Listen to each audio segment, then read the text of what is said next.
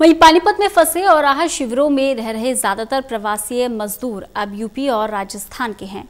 ये वो सभी मजदूर जो पंजाब से चले थे और पानीपत में फंस गए। पानीपत में चल रहे एक सेंटर में सेवाओं से ये मजदूर बेहद खुश हैं। इसे हरियाणा का बेस्ट राहत शिविर माना जा रहा है।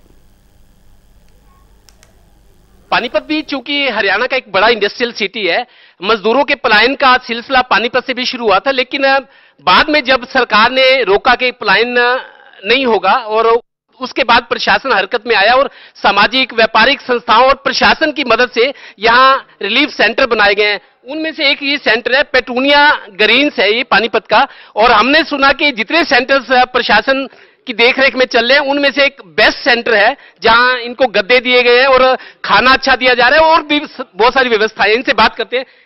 कहाँ के रहने वाले आप बताओ आप? धौलपुर राजस्थान। हाँ। धौलपुर राजस्थान के। अच्छा कितने लोग हैं टोटल आप? बारह बंदे। बारह बंदे।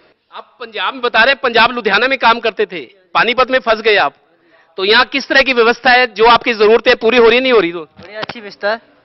ठीक विस्ता है? कोई कोई दिक्कत आ को, रही कोई दिक्कत नहीं है। आप बताओ कहाँ के रहने वाले बताओ। धौलपुर राजस्थान के सर। धौलपुर राजस्थान के। कोई दिक्कत नहीं है जी बढ़िया मिल रहा है अपने सुविधा।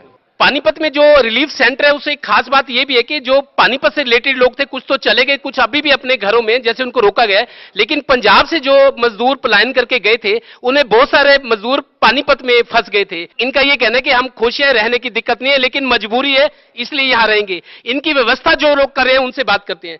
एसडीएम साहब आपने आपने इस सेंटर को सबसे बढ़िया बताया और हमारे को भी लगा कि देखना चाहिए। क्या ये बाकी सेंटरों से, सेंटर कैसे अलग है? इसी तरह की सुविधाएँ जो है, सभी सेंटर्स में दी जा रही हैं। और हमारा प्रयास है कि उनको जो है ये शेल्टर होम्स हैं, उनमें घर जैसा महसूस हो, कोई भी चीज़ की कमी ना हो। तो सारी जो मूलभूत सुविधाएँ हैं, हम उनको उपलब्ध करा रहे हैं। और इनसे कहा जा रहा है कि ये लॉकडाउन के पीरियड में अपने अच्छे से, बढ़िया से यहाँ पर रहें। बाहर लोन में इनको योगा कराते हैं। और योगा तो सब सब तरह की, एक अलग तरह का टेस्ट है। तो आज एलसीडी लगवाएँगे इनके लिए। आज एलसीडी की सुविधा तैयार है जी। एग्जिट साहब ने हमारे को जो कहा कि जो कुछ चाहिए हमारे को फ़ोन कीजिए। इन्होंने पूरा सहयोग किया हमारा।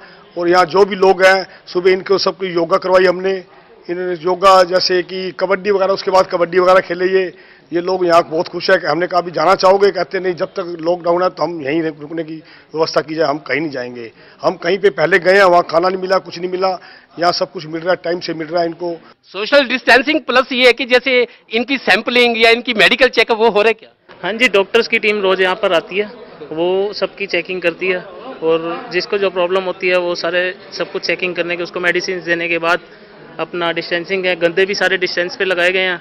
और बाहर भी खाना भी जब होता है, दो दो दो फुट का, तीन तीन फुट का डिस्टेंस रहता है। तो पानीपत में कई शेल्टर होम्स चल रहे हैं लेकिन हमने यहाँ देखी व्यवस्था बाकियों से बेहतर है। हालाँकि प्रशासन दावा करे कि बेहतर तो सभी जगह है, लेकिन यहाँ की व्यवस्था ज़्यादा बेहतर है और जो मजदूर लोग हैं, वो खुश हैं। पर उनका ये भी कहना है कि जब तक मजबूरी है, हम तक यहाँ है। घर तो जाना हर कोई चाहता है, क्योंकि घर तो घर होता है। सहयोगी श्रीनिवास के साथ Devendra Kathuria total news Panipat bureau.